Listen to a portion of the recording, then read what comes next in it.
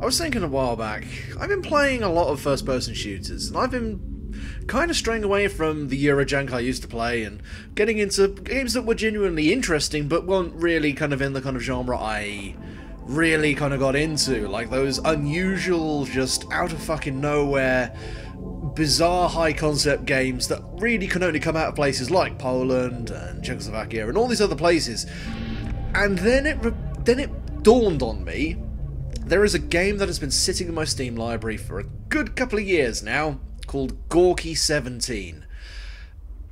And I think I could call it the Polish Fallout. I think. This is a kind of. It's an RPG with team based elements, turn based combat on a grid system about a discover an unearthed Soviet era city underground that is discovered by NATO and they start sealing it off and sending people in because apparently the press found out about it earlier. None of this is going to be brought out in the um, intro cutscene. I'm just saying that right now. Also, this is the cursor. I, I fucking love that. That is that is that is just something fucking special right there. At the moment, I am running this with a uh, Voodoo uh, wrapper because if you try and play this on a modern graphics card, the graphics go fucking mental. Um, so it may not be in a great resolution, but it works, and I will hopefully in later sets have a bit more tinkering and see if I can get it working absolutely fucking on point. But do bear in mind, I think this came out 2008. Correct me if I'm wrong, and I probably will in the edit. Um, but this will look like hot steaming ass in terms of texture quality. The, the, the, sprites themselves will look way more detailed than the background they're walking on. Just just giving you some full warning there. In fact, if you look at the uh, lighting, you can see this. oh, look at that! Look at that fucking tessellation. Beautiful. Anyway, uh, not much more I can really do. By the way, options are literally graphics options are literally shadows and gamma. That's it. That's your fucking lot, mate. And sound options, I've put the sound down yeah, that should be fine. Uh, and then the credits, which we'll probably see at the end. But anyway, without any further ado, let's uh, let's crack on, shall we?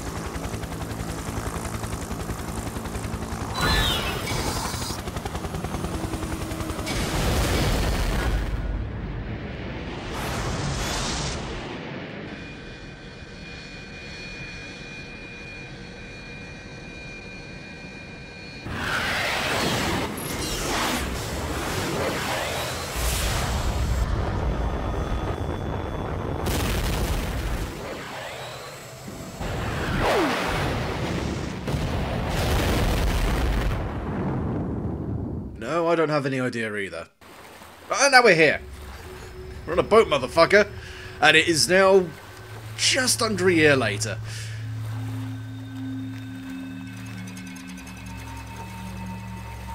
So, boss, now can you tell us why we're here? Has anyone here heard about Gorky 17? Wasn't it a secret spy training facility operated by the Russians? it was shut down last year, no? Secret, yes. Spies? No. Gorky 17 housed military experiments. One year ago, the Soviets bombed it off the face of the Earth. No one knows why. If no one knows, why do we care? As you know, this town has been placed under military quarantine. We've told the press that terrorists have struck here with smallpox. Well, this isn't exactly true. We don't know what is happening. General Gordon Lamar, chief of this operation, has information that whatever happened at Gorky 17 is happening here. Unfortunately, his first strike team was unable to confirm this, and we've lost contact with them. Where do we fit in? Our orders are simple. First, find any remaining members of Group 1. Second, Lamar's informant described a laboratory within the city. We are to find and secure this site. Everyone clear? Oui, I'm ready. Ovis, are you clear? Crystal clear. I'm ready, boss. Oh yes, one last thing. I'd prefer if we survive. For such a mission, it is too bad we aren't experienced soldiers. Wait, we are. Sometimes experience isn't enough. And there we go, we're in. Uh, I would just like to point out this is a Polish development, so prepare yourself for some fuck you Russia. Uh, quite clearly, Jarek is going to be portrayed as the fucking butt monkey. As I've um, I've played a bit of this. I've got till about we cross this point on a plank, which I'm about to pick up. We will go through some bits of combat. Well, I'll show how that all works. Um, but to begin with, uh, so first and foremost, you use the keys, the uh, directional uh, arrows, and that gives you a really small amount of leeway. This is not a very friendly map. Um, you will have a hard time navigating it and seeing what you're walking into until you've already walked into it, which is kind of annoying, really. Uh, I'd like. Uh, oh, can I not? Oh no, I'm confusing this. Okay, no. Right, so immediately we've been dropped in, and I'd just like to point out as well, we're being briefed when we've arrived.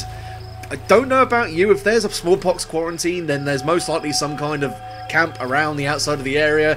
I'd rather do the briefing there, unless this is so so ludicrously high security that we can't even uh, have a public briefing. We've got to do it when we're in here. And here we go, combat. And Oh my god! What the hell is this? I told you, expect anything. Enough talking, let's oh, go. Jarek, you complete bitch. Alright, so this is combat, and immediately we start with no weapons equipped. So, down here on the bottom left-hand corner, we've got our shortlist. This is not enabled with the mouse wheel, so I've got to manually scroll across everything, and you'll see weapons have level values to them. Don't worry, though, this is not timed in the slightest, so I can do whatever the hell I like. If I go over to here, in the bottom right-hand corner, I have weapon skills and personal stats, and as you'll see, at the moment, no one's really got any preference in anything. This is a you do it and it improves kind of system, which is quite nice. I never like point buy for skills. I don't mind point buy for statistics and like personal values, but when it comes to just magically getting a lot better at a gun or a knife, this feels like it makes a bit more sense. That's that's personal thing at least.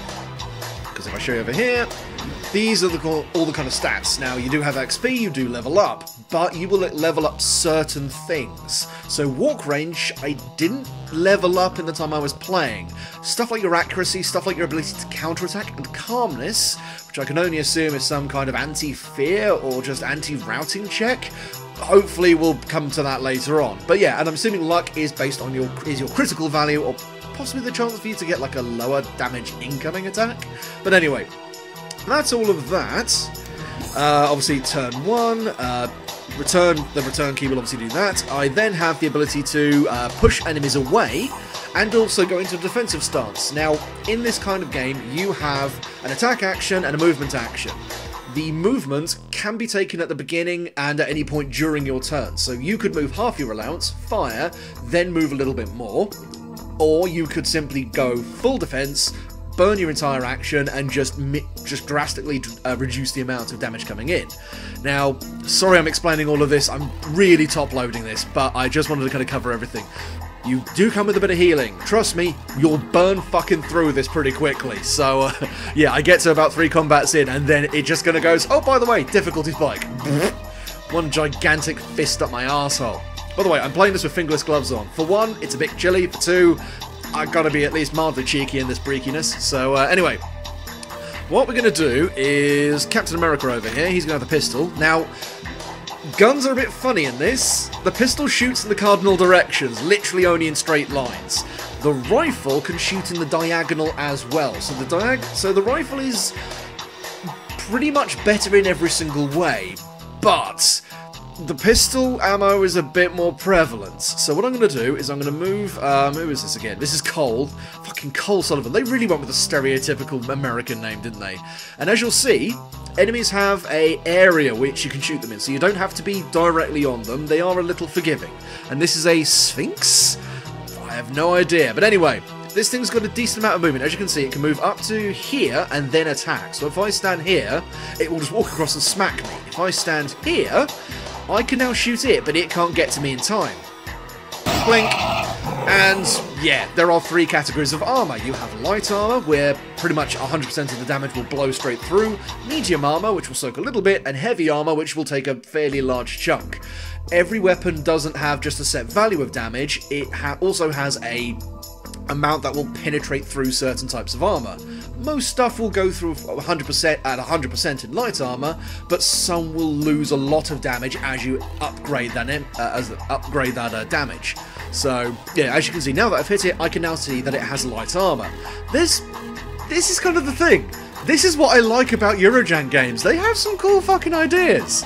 All right, so Thierry, who I'm going to pop there is going to be my rifleman for this. So I'm just going to pop a shot. Ah, and also, just for once you've got a weapon equipped, right click, brings up your weapon, left click, makes you shoot. Just little things, but quality of life wise, I really like that. One other thing I would say is you're going to want to get your guys to specialise in a weapon very quickly. So what I'm going to do... Oh, no, hang on. Nope. Wait, I can use matches? I, I have no fucking clue, but okay. Uh, what I'm going to do, you're going to have a bayonet, and then Right, you're probably going to run over this way. So what I'm going to do is pop you there, and then we're going to defend. Right, Amelandar's turn there. So this weird leopard xenomorph thing is going to run over and completely fail to do anything of use because it couldn't end its turn and make an attack in a diagonal. Again, melee, it's a little bit fucking weird. If I show you, I can't actually melee attack in a diagonal.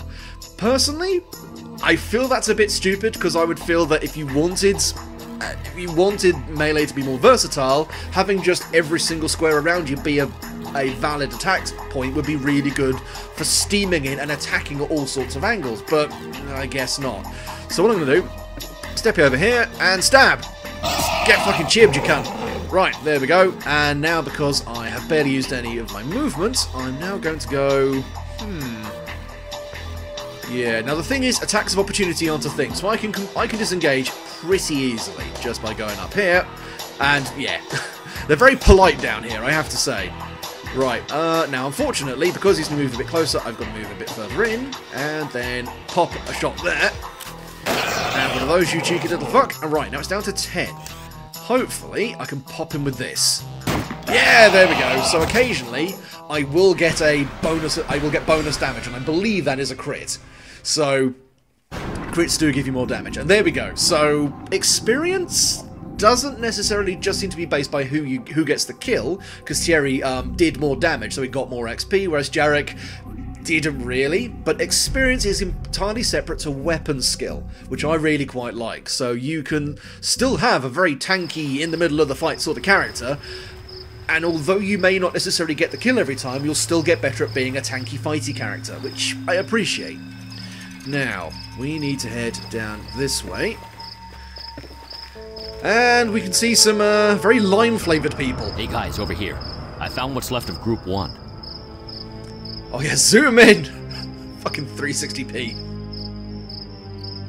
This is, was, Leif Sorensen. One of the best computer specialists in NATO. I recognize this man. He was Giancarlo Trotti, part of the Italian Special Forces attached to NATO. This man was like a rock. You could put a live grenade in his pocket and he wouldn't even break a sweat. How the fuck did you find that Yeah. out? Well, he sure looks calm now, doesn't he? Watch it, Ovitz. This was my friend that you're talking about. Jarek, stop being a Relax, bitch! Truntin. Can't you take joke? Knock it off, both of you. We don't have time to deal with your nonsense. Take a look at their bodies. There's something very wrong with them. Good God! That smell! And their skin! They're green! I don't like this. I have seen dead men. This is not normal death. This death, reeks of evil. Reeks. Enough of that, Ovitz. I don't need a paranoid team. If a guy like Trotti, with all his combat experience, died this way, we'd better stay alert. All right, then listen up. Group 1 had four members. We still have two missing Joan McFadden, the team doctor, and Joseph Sashman, an English commando. I want to find them. Alive. I want the commando. I, want the commando. Shut it, wish, Jarek. Something tells me this city doesn't like the living. Oh, boo fucking All who. the more reason to hurry. To keep your eyes open. They could be hiding anywhere. They'll be hoping we can help get them out of here. Great, boss. And who helps us get out of here? The urge to smack him is really quite fucking high, but good grief. Okay, so we got some dead bodies, and if we right click on them. So this is how you get descriptors. Anything you can highlight and get a name up, you can right click it to get a little bit more information, or if you can interact with it, pick it up. Like this plank that appears to be phasing in and out of reality, you can actually, you know, get more about it. Also, I'd just like to say, I quite like the fact that this is quite a nicely established story very quickly. This game has wasted absolutely no time in going, right, shit's gone a bit sideways, NATO doesn't really know what's going on, the first team went in and disappeared, we found two of their bodies who have died under very, very, very, very odd circumstances, two of them are missing, let's go and find them. Pretty nice and simple, and they, they react appropriately to the monsters showing up. Like, all of this so far, very nicely put together. Seems seems pretty good actually. Not too impressive. I mean, it's not it's not crazily like elaborate, but it does the fucking trick. Anyway, oh, by the way, I can also select different characters to be my point men. Uh, ooh, actually, while I'm here, I'm just going to nip into the inventory because I need to move some ammunition around. So, you can move ammunition and exchange items. You can't just do a quick transfer, unfortunately. So when I do this, I have to... and accept. And then i got to do it with this one, this one as well. Which is, as you can imagine, not the most enjoyable thing in the fucking world. Right. Now, Thierry is going to need to give some pistol ammo over this way. But I'm going to make sure that Jarek still has some, because there is a fight coming up that's a bit of a bitch unless everyone's outputting a good amount of damage. And while the bayonet's going to be good for him to grind...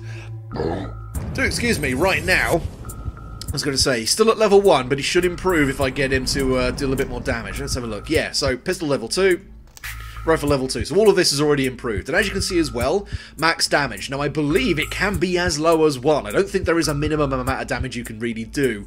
Um, and then you can see the penetration. So the rifle has very good penetration, like 100%, 90%, 85%. Doesn't have much drop off. The pistol, on the other hand, does kind of drop off quite badly. So not bad. Uh, but more of a plinker, not really something you want to use too frequently. That said, the better you get at it, the more crits you get, the more viable it becomes. So anyway, um, I believe that's everything. I didn't just work out what the fuck is the matches for, but anyway. Uh, let's move a little bit, and let's go and grab this board. Large plank. Ah, God! okay, apparently there was something hiding on, Captain, underneath it. I don't like this. Why weren't we briefed on this? It is worse than I feared. Hey, you two! How about you concentrate and fight? Okay, fair point. God damn, you mouthy motherfucker, you. Right, we're just going to move you here, move you here, and you know what? We'll actually just leave it there for the moment. Let this guy come to us. Oh, fuck, no, there's two of them. I forgot. Tactical misstep. Tactical misstep. Okay, right. Well, let's move you over here and plink this motherfucker. Yeah, there we go. Some nice extra damage going on there. Uh, right, how far can you move? You can move that far, so I'm going to move over here. You are going to take a pot shot. Ah, piss. Right, take a pot shot at that man. Blink.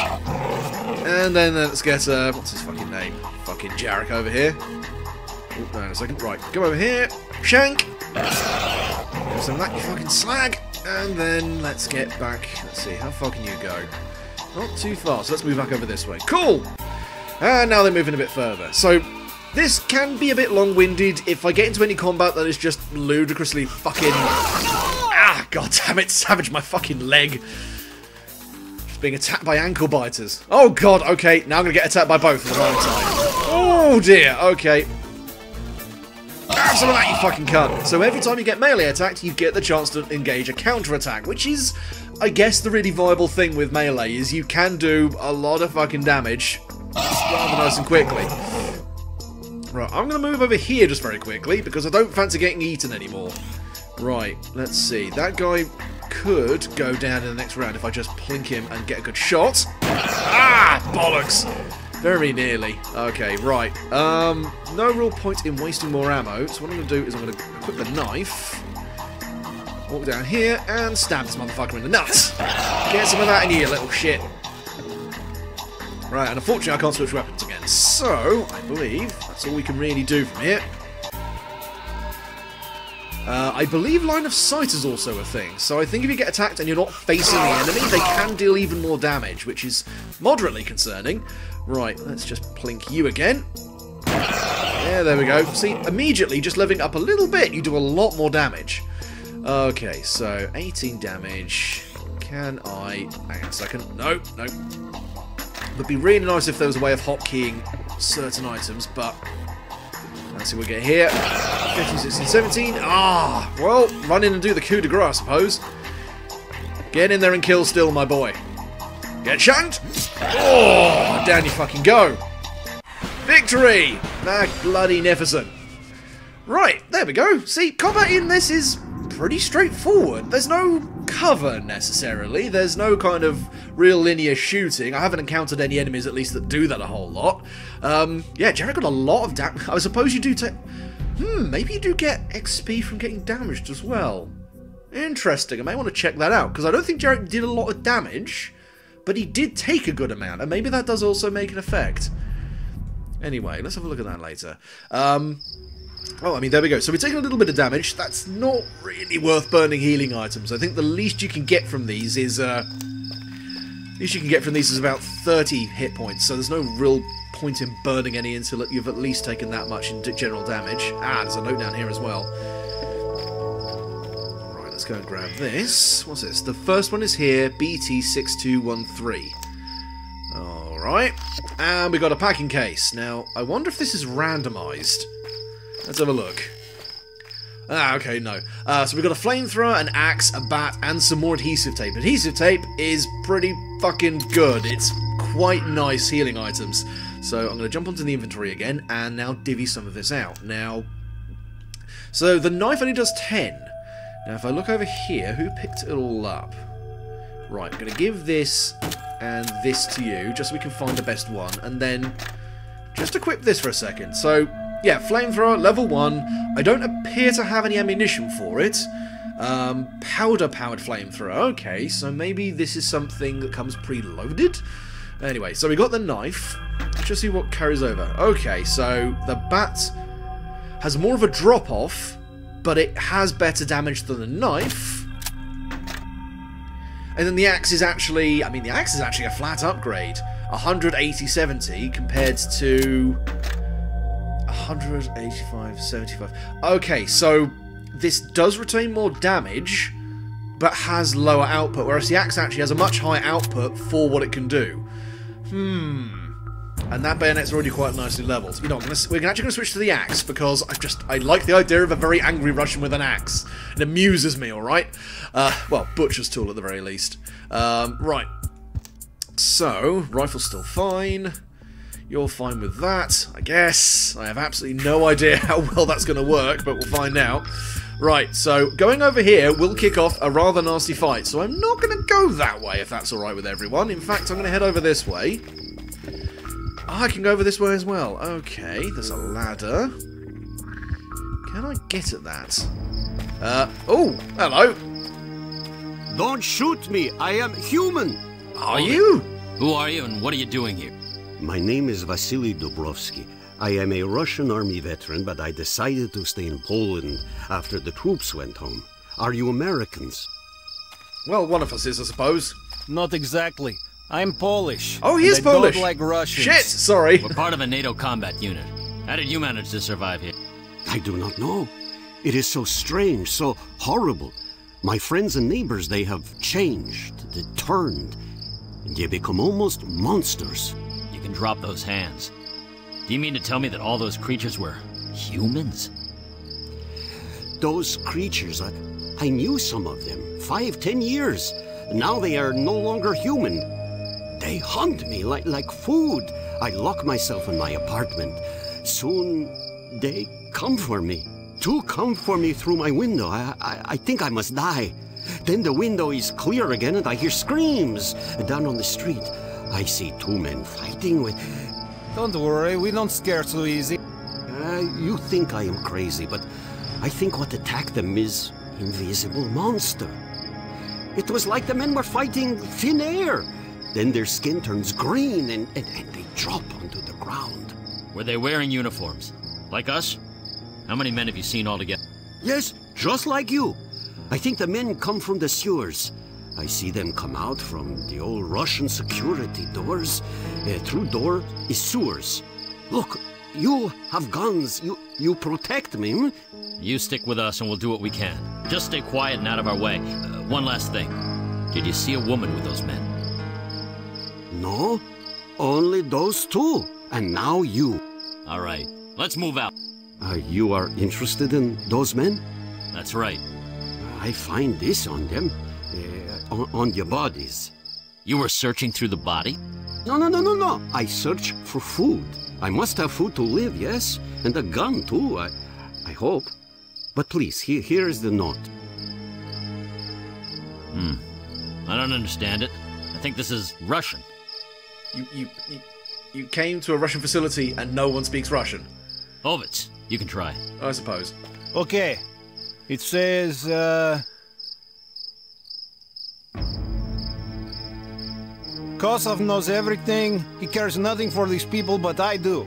If I can protect the Matrix discs, I might reverse this nightmare, but Kosov will destroy the discs if he finds them. He would do anything to protect his secret. I have hidden the discs, one in the port, one near the monuments, two in the city center. I will try tonight to gather them and return to the lab, but Kosov has asked to meet with me this afternoon. I fear I shall not return. The note is not signed. Do you think this could be real? Mix four discs with one lab? Add horror? We could be cooking, yes? Shut up, Jack. I didn't ask for any comment, Ovitz. Two men died for this note. I just hope it isn't some kind of joke. Listen up, team. I want answers. If the discs have answers, then I want those discs. Okay, let's go. Two members of Team 1 might still be alive. Oh god, and immediately we get attacked. Um, hi. Ow! Oh, motherfucker!